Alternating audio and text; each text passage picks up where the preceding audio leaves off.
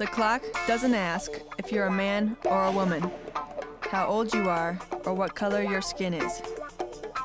It only asks what's the best you can do. In sports and in the workplace, we all want the freedom to compete and to show the world what we can accomplish. The Equal Employment Opportunity Commission, working with you to create a better workplace. Visit eeoc.gov